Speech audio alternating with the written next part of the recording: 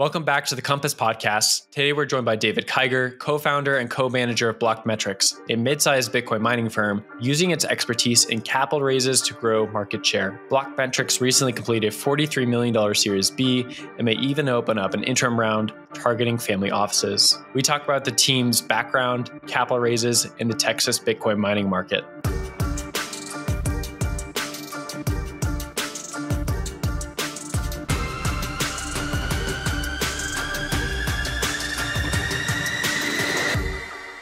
David, thank you so much for joining the Compass podcast. Really excited to have this conversation. Uh, just prepping yesterday on the phone, talking about what we were going to talk about today, uh, made me really interested because you guys have a different perspective on the mining market than a lot of people do out there today. So, uh, again, thank you for joining us on the show. Well, thank you for having me. And uh, I think we, we definitely have a fresh one because it's a fairly new perspective.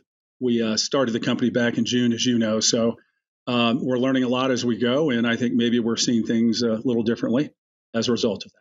Definitely. So we'll just start off with a little quick intro, bio, how you got into Bitcoin, how you got into Bitcoin mining. Like you just said, you guys only started Blockmetrix back in June, so it's very fresh. But the team and yourself has a storied and varied career leading up to Bitcoin mining. Sure. And then uh, that's definitely fed into your guys' strategy as a uh, Bitcoin mining firm. Yeah, it has. Um, I guess I can go on uh, talk about the team a little bit if that makes sense.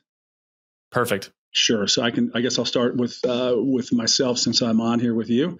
Um, I actually uh, started off in real estate development uh, many many years ago, and then from real estate development, I left and started a company called Worldwide Express, and that would be back in 1995. So again, a long time back. Um, it's a 3PL, so think uh, logistics and shipping except we don't own the assets. We own the customers and the shipments. So started worldwide uh, in 95, as I said, and uh, encountered all of the problems you would have as a startup, but much less efficient mechanisms uh, by which you would raise capital as you would today. So I bootstrapped it, literally started it with $50,000. And then, you know, we've scaled it up significantly since then. Uh, we've had a total of five private equity transactions. Uh, the last one was finished last June and the transactional amount was $2.5 billion. And then today we're about a $4.5 billion run rate uh, revenue company. So it's, it's been a great run. Um, learned an awful lot about startups and then scaling a company and making it a big company. And I, most importantly, just navigating all the twists and turns, you know, things that happen that you just never planned or saw coming, um, which is actually, uh, looking back, uh, a lot of the fun of, of, of doing this. So um, so that that's my background: real estate development and then third-party logistics. Um, as a result of that, I was able to uh, make several private uh, equity investments, and I can go into that in a little bit. But to round out the rest of the team, uh, co-founders uh, Keith Spickelmier. Um, I've known Keith for 35 years. Um, he's a Texas guy. Started off as a lawyer and then got into the energy business and over the years has done several um, transactions with energy companies that he started taking uh, most of those public, uh, several, at least three or four of those. Um, has extensive experience in with SPACs. Um, of course, everything going with starting a company and taking it public. So, uh, transactional expertise, he has a lot of that. Raising debt, sort of everything you would need to do to take a company from a startup to then taking them public. Keith has that experience. So, we're, we're very fortunate to have him on board. Uh, the other co founder and uh, CEO, Nevin Bannister, has, again, an extensive energy background based here in Texas, just like Keith.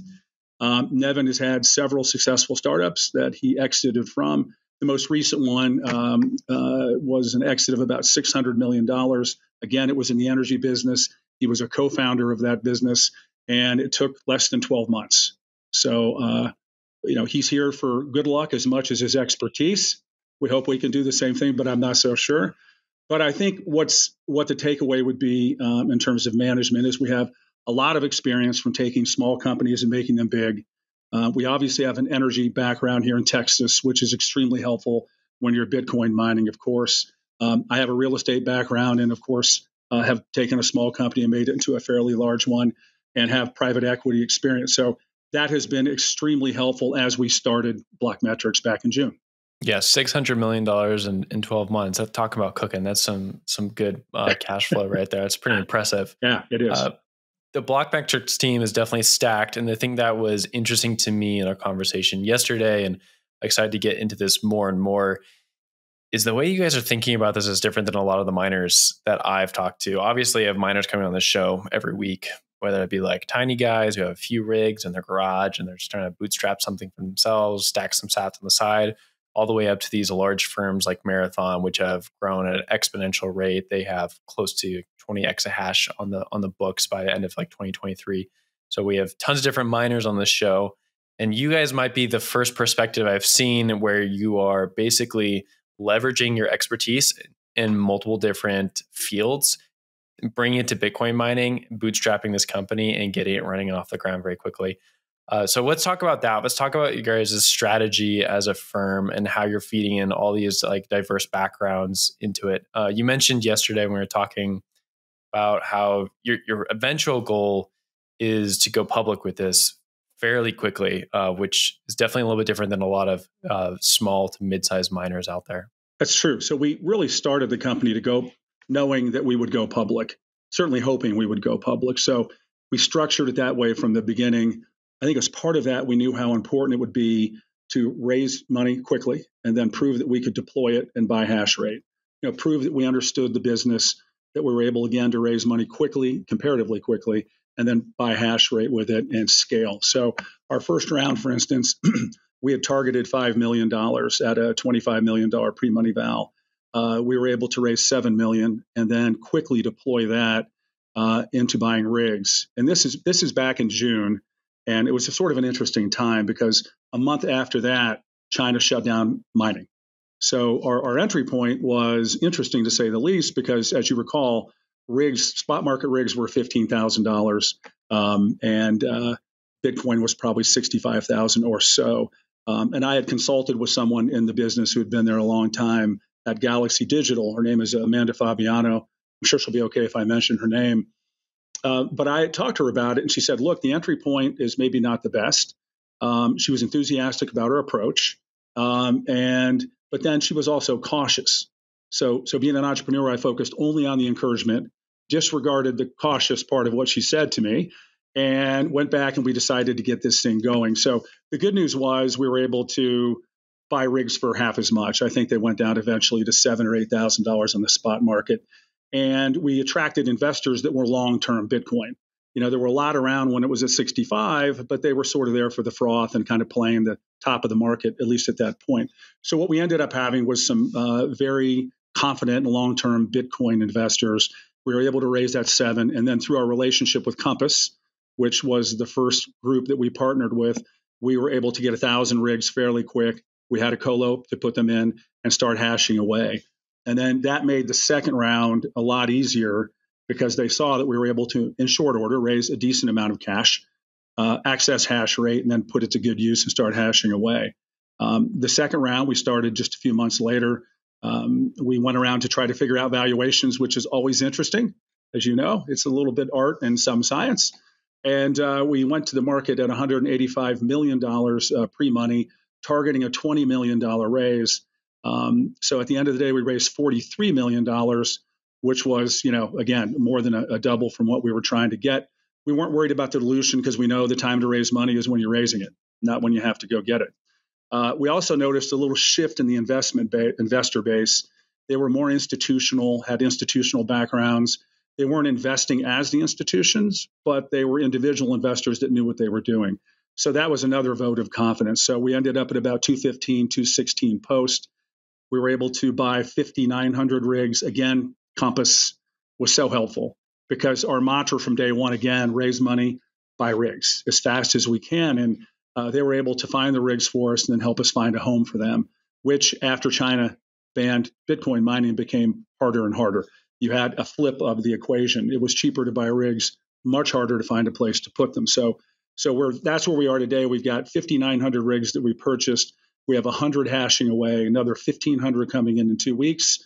The remainder of the 5,900 will be coming in over the ensuing months. Um, we have a, uh, a, credit facility that we've negotiated with BankProv. They helped us a bit in the first round. We're putting the final touches on that here in the second round, um, and that would give us access to up to say 8,500 to 9,000 rigs, depending on pricing. Yeah, before we dig more into Blockmetrix and the rigs that you guys have on the ground and the, the financing and the raises, I want to dig back more into your guys' personal story and, and, and, get a feel for that.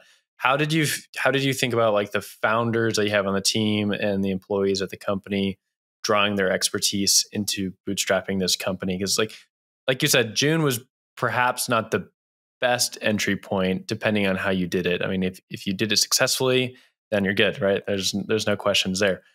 But looking at Bitcoin's price at the time, sentiment was drawing down. Mining rigs were still expensive until later that summer. It was definitely an interesting entry point, but you guys made it, and now you're you know just closed a, a round recently, uh, going quite strongly. So, what would you say were some of the benefits of the team members that you have on the ground that enabled you guys to get to that point? Sure, it's a great question. I think we're, we're an experienced management team, right? So we've all sort of been there and done a little bit of that. Um, we've all started companies. We've had to raise money uh, before, so that was was significant help. Um, I, I, do think the experience again, the fact that we have um, two of the co-founders with significant energy experience in Texas, because energy is such a big part of what we do as Bitcoin miners. Uh, that was a, clearly an asset.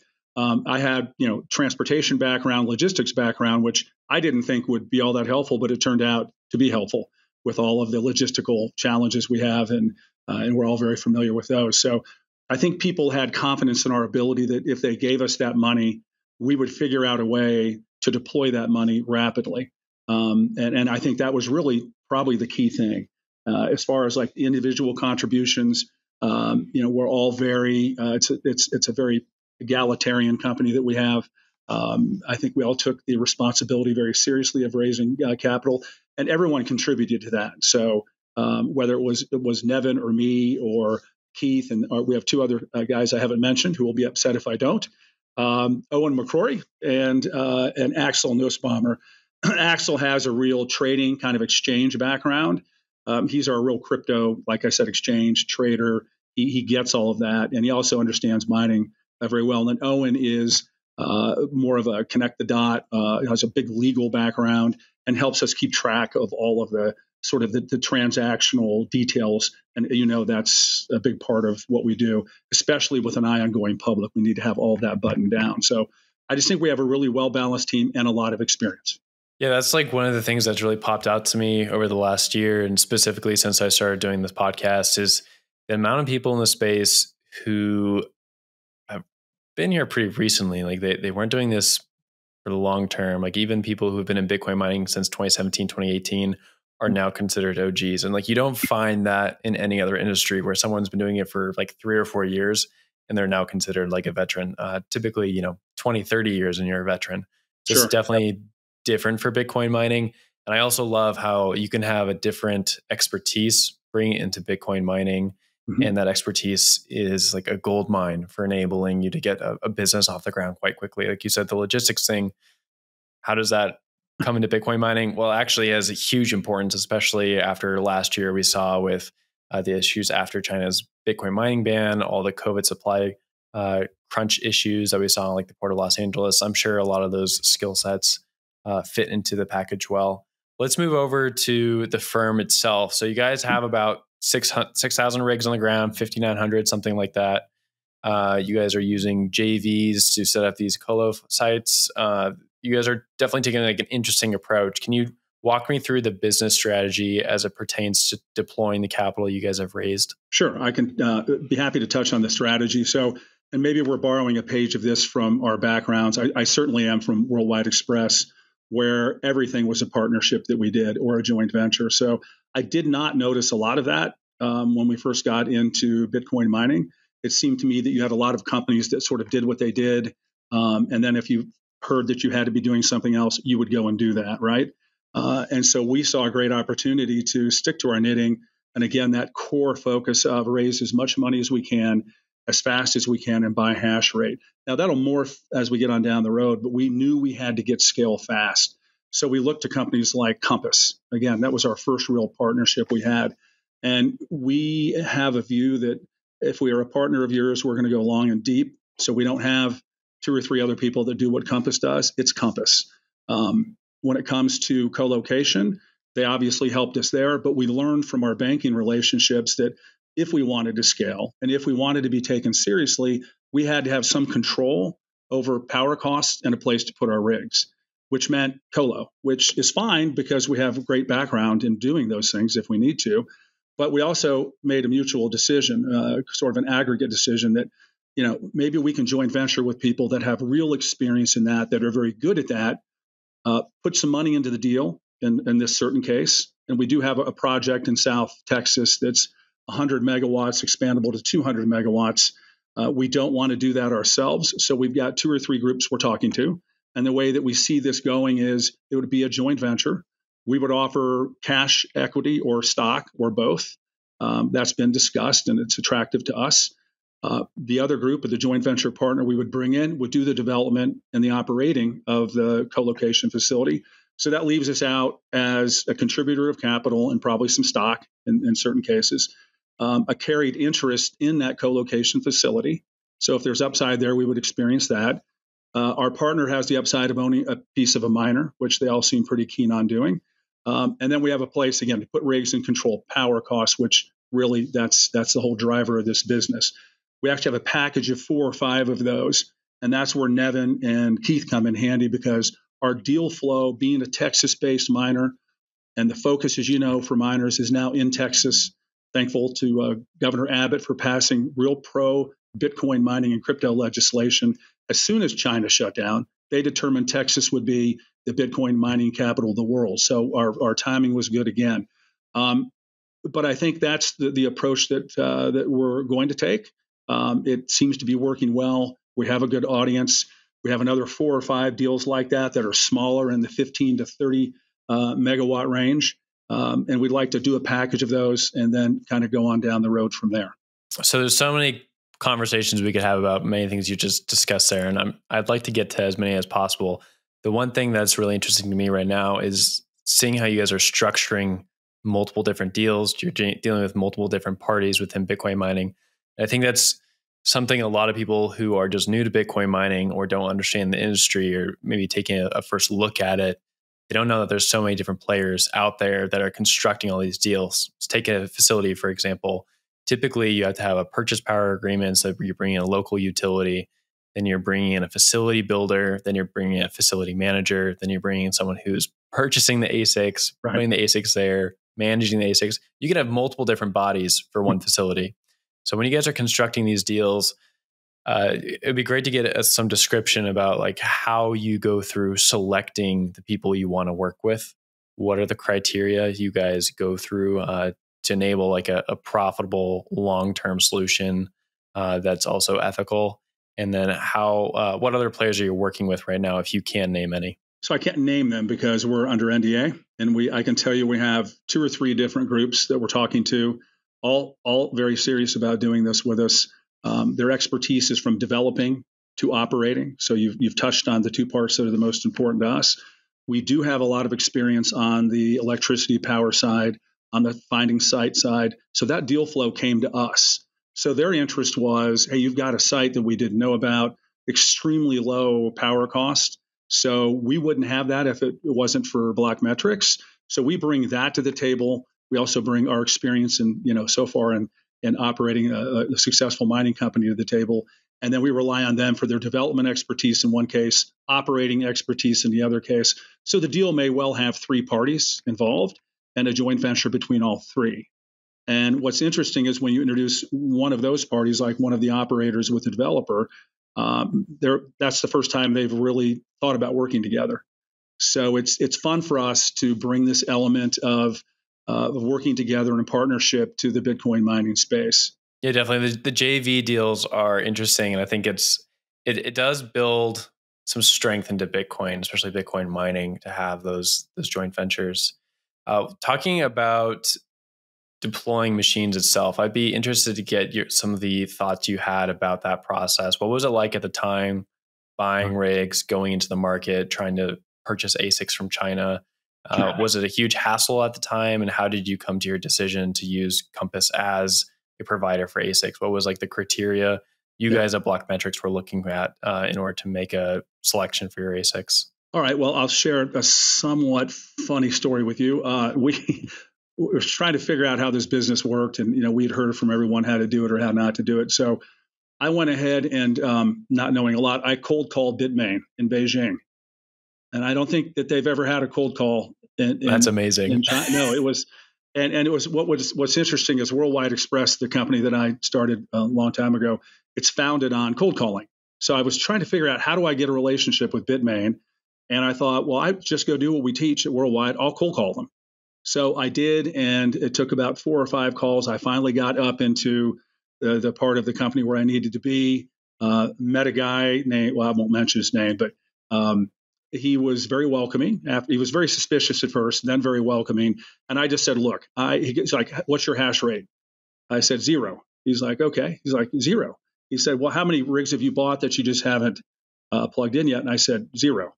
And he said, oh, oh okay. I said, the answer is zero to every question you're going to ask me. But, we really want to get in this business. We're serious about it. Here's our backgrounds, which he then checked, and, and that helped again, our backgrounds. Uh, but it was quickly apparent to me I would have to wait a long time to get my rigs, A.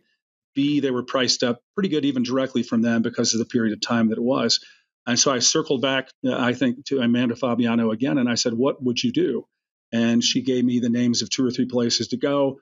I called Compass was my first call and I just I just got along real well with them on the phone and was very upfront. I said, look, we're new. Uh, we have a little different approach to this business. We're we're good at raising money, and if you work with us, we will work with you over a long term.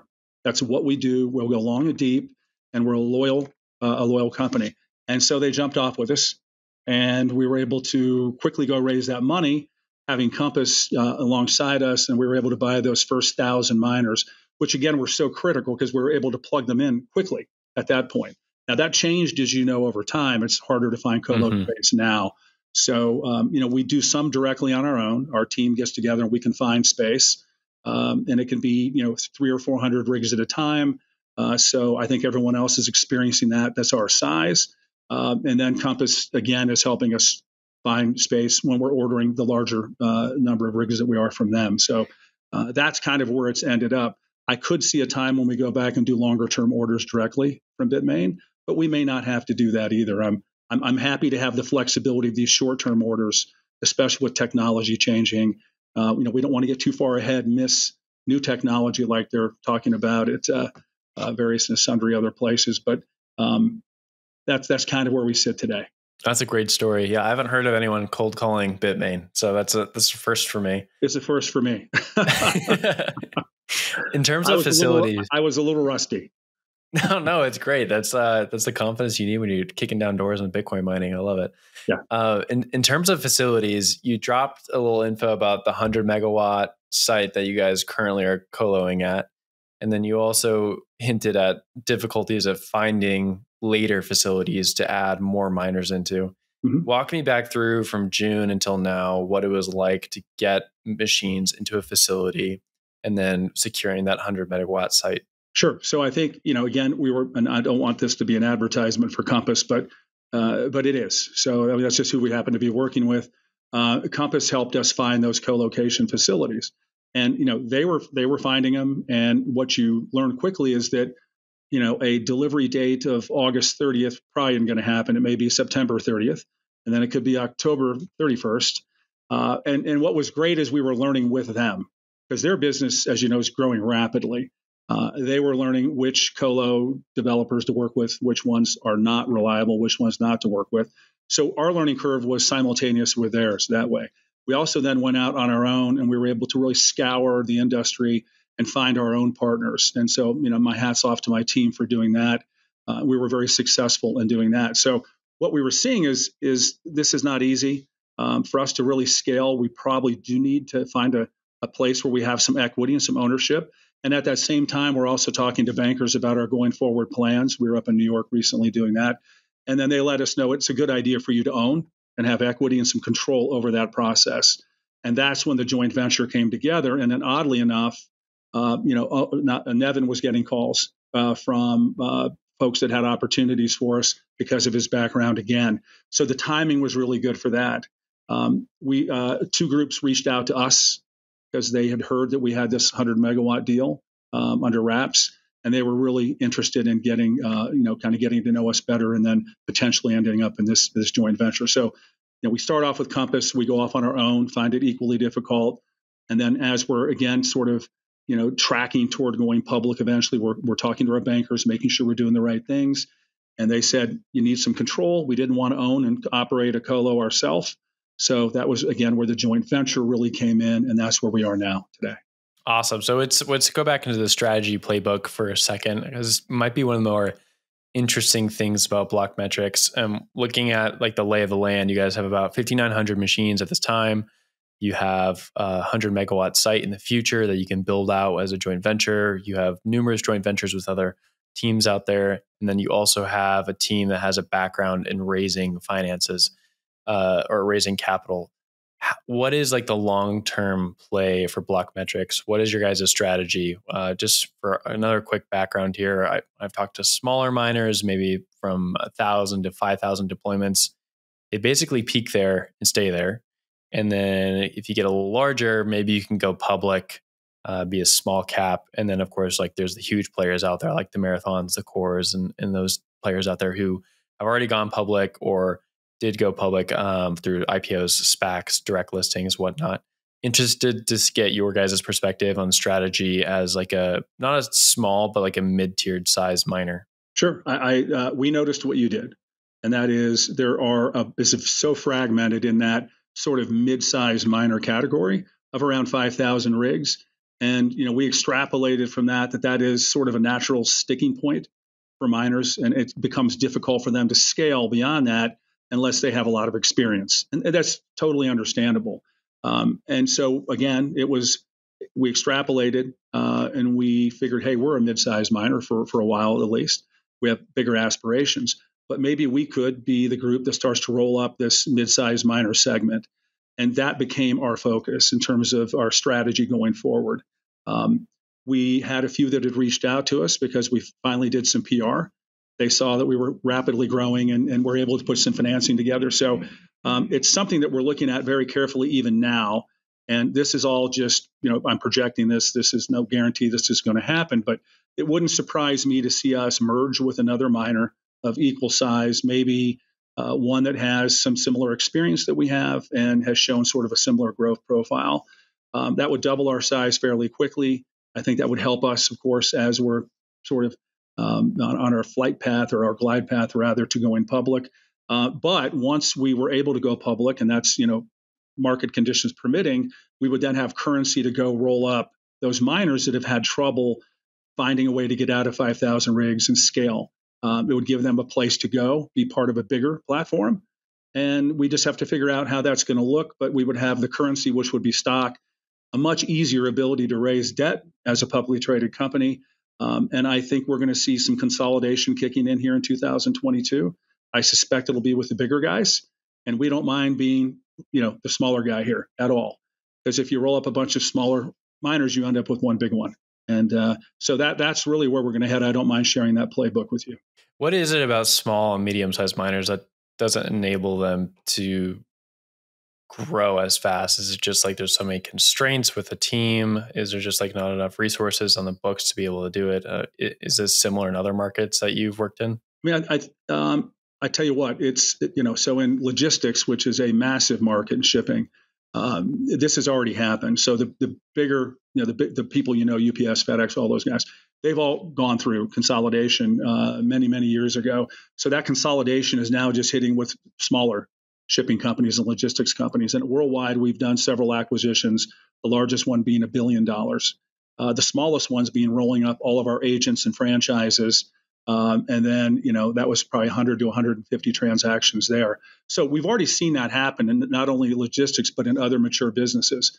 It's just not happened yet in Bitcoin mining. So I think the limitation is for the, you know, the people that were earlier in who love Bitcoin mining, and they've done well with it. They may not have the team behind them, or they may not have the experience, or even know kind of to know how to who to call, you know, what questions to ask, kind of how to get from here to there. And we clearly have that, so I think that's what we could offer them. And and I, there's a vast audience um, and a lot of, uh, of 5,000 rig Bitcoin miners out there for us to talk to. I think importantly, they proactively have reached out to us and we just listen to their stories. So I think you've touched on it and, and experientially, I can tell you that's what we're finding out. Yeah, it's definitely an interesting playbook. Uh, I've seen a few people talk about similar things, but definitely not as upfront about like where the Bitcoin mining market is in terms of maturation. Uh, obviously, you alluded to it. There's a lot of big players that are already out there, and they're typically publicly listed. I think last year we saw close to 20 firms go public, whether that be in Canada or the United States. And those players are big. They're out there and they can leverage those capital markets to continue growing. But there is this huge swath, like at the middle class of Bitcoin miners, if you will, that uh, is somewhere sitting in that 5,000 plus uh, rig range. I, I kind of want to move over to, to Texas itself and talk about uh, the Texas capital market. So I have this personal theory that it might be not overhyped, but overfunded at this point. And I want to see if you can dispel me of that. There's been so much talk about Texas, Texas, Texas, and Bitcoin mining.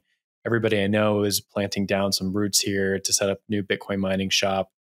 Setting aside if it's bad for the network or whatnot, I, I know that's a pretty common conversation. Do you think there is enough resources in Texas to deploy all this capital efficiently on a time scale that makes sense for a firm? I do. I do. Um, I've been here for 25 years. I know you're a little newer to it, but but have more experience with Bitcoin mining than I do. So so in between the two, we shall meet. Uh, yeah, there's plenty of capital out there uh, looking for quality deals. Um, I think as far as without going too far into the grid and how they're operating and issues they've had, but as far as as, as Texas is concerned and ERCOT, I think they're they're looking at it now as a way to regulate uh, and modulate uh, you know the grid. So you know they're producing at any given time 10 to 15 percent more power than than people need. But if there's a real peak situation or a traumatic situation like we experienced not too long ago with that, the, the snow and the, the, the freezing uh, rain and everything else we had for three or four days, it wasn't that they didn't have enough. They just didn't have the ability to get what they needed when they needed it. So um, they view it, and I think, again, appropriately, as a way to modulate and regulate the grid. Um, so they view Bitcoin miners as a real positive in that regard. And you're going to hear more and more about that, I can tell you, from Sessions and uh, a few of the other politicians here that are national in scope. Um, and I agree with them. So, you know, we have found it a positive to be a Texas based miner. When people hear that, they know that this is the Mecca. This is probably the new uh, center of, of mining worldwide. Um, there is enough infrastructure here for sure. Uh, the energy is inexpensive comparatively. Another thing I think I would make a point of is the fact that only 20% of the power here is fired by coal. Uh, the rest is natural gas and renewables. And there is a big focus on renewables, uh, you know, in terms of what they're doing in Austin at the, at the state level. So um, I think it's a great place to be. There is plenty of money for deals, but they're not indiscriminate with where they're putting their money. They want to see experience. Um, they want to see people who've executed uh, in the past, if possible. And so I think that's been a benefit for us as a Texas based uh, Bitcoin miner. Uh, it's really interesting as a, a, solid argument to rebut what I was thinking there. In terms of future JV projects or maybe just colocation sites in general, are you guys looking throughout Texas and, and putting these machines as close to the energy sources as possible? Or are you pretty happy to find a location that just makes sense uh, for a logistical standpoint or maybe for like deploying a large megawatt mine? I think it's a great question. Um, what we've done to this point is we put them where we can put them. Okay. So we've got a lot of them in Oklahoma, uh, Texas.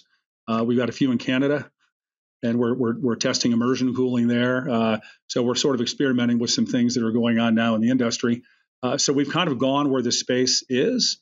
Uh, but again, that was the impetus for us to lock something down, listen to what the bankers are telling us the market wants, because uh, that's usually a pretty good tell on where the where the where the market is going to go.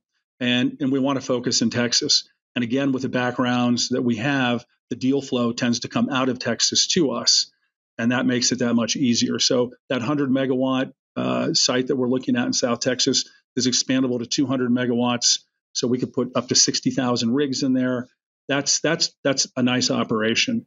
And again, the, the power costs are very low. It's already been approved. Um, so we're just taking advantage of what we know. So I think we'll probably continue to do both. We'll put our rigs where we can. Um, to the extent we're successful with these JVs, we'll move the rigs over there once the term is up on our co-location uh, agreement. Um, but right now, we're keeping our colo agreements to one or two years, anticipating the fact we can move our rigs to the locations that we own part of. Awesome. So, two more questions for you as we wrap up. Yeah. One, hodling strategy. I, I, always ask this to every miner I have on. Uh, I don't know if you guys can disclose it. Some some teams can't. But what do you guys do with the mined Bitcoin? Do you immediately just go and liquidate it? Do you guys hold on to some of it? Do you guys hold on to all of it? You can have one firm say that they actively lend out the Bitcoin they mine. Curious to get your take on what you guys do with your Bitcoin. We're long Bitcoin, so we're keeping all of our BTC right now. Um, we're bullish on where it's going to go. I think you know selling it now would be selling it short, uh, and so we're not going to do that. Uh, I think that at some point, would we lend it out? We sure would. And we have some experience on the team again with Axel. I mentioned him earlier. He has real experience with all of that DeFi. Um, mm-hmm. Whenever you get into anything exchange related, um, he would be our person. But we also have other people we can go to. So I, am not going to say that we're going to just keep it forever, although we're long Bitcoin for the term. Um, lending it out to me is why not leverage it to its fullest? Definitely. Have you found as a follow up here? Have you found sure. that it's been easier or more difficult to finance based on your hodl strategy, or do venture capital teams out there even consider that uh, when they're doing a raise? They do. They all ask us. And you know what? I mean, if you're not long Bitcoin, why should they be? You know, if we're selling it, their first question we're going to get is why, why are you short BTC and you want us to put money in your deal, right? So we're long. And if someone doesn't like us being long, then we're not interested in, in working with them, quite frankly. That was a great answer. Yeah, no, uh, a phrase I've heard a few times I really like is that Bitcoin miners are the most long Bitcoin out of anybody. You're, you're yeah. buying a bunch of Bitcoin printing machines, so you better hope it goes up in the long term. Absolutely. Uh, just closing out the conversation, I, I want to get your take on where the market is going from here and take the question as you will. Maybe, maybe you just want to focus on Texas. Maybe you just want to focus on mid-sized firms like yourselves, or even if you want to be ambitious, just talk about the, the market in general. But what should Bitcoin miners be looking for going forward into 2022? Um, I, first thing I would say is consolidation in the market. Um, and I, you know, if I'm sure if you don't have a strategy now, you're behind the eight ball. I can I can tell you that much. So you better be picking your targets or your partners. I think it's a time to do that. You know, pretty clear uh, that you know we're focused on partnerships and JVs. That is where it's going to go. It just that makes sense to me. So I'm sure that whether you're large or small, you're probably putting a strategy together in regards uh, to that as well. So I think the two well, and the third thing is regulation. Always, what kind of regulation is coming down the pike? Will it be beneficial? Is regulation always good because it increases adoption? Um, and I think the tell there is pretty decent because institutional adoption keeps increasing, and that's a great thing for us to see. Very encouraging, I think. But you know, if I'm running uh, some, another Bitcoin mining company, I'd be focused on consolidation. How can I get big? How can I scale? Because we all know what's happening in a few years, and that'll be relevant. And then, uh, how do I partner? How do I really stick to my knitting, focus on scaling and getting as big as I can without having to do the things that aren't my core competency. So those are the, it reflects our approach to the market, but that's that's what I would say. Yeah, you can't give away too much alpha. You, you gotta you gotta have your your company successful right. as well. So we won't, give away too many secrets. Yeah, thanks. Yeah. yeah, I want to thank you so much for joining us on the Compass podcast. We can probably leave the conversation there. Those really interesting take on just the mid market in general, and also seeing mm-hmm. where Block Metrics is at today. So thank sure. you again. Well, thank you. I really appreciate you having me on.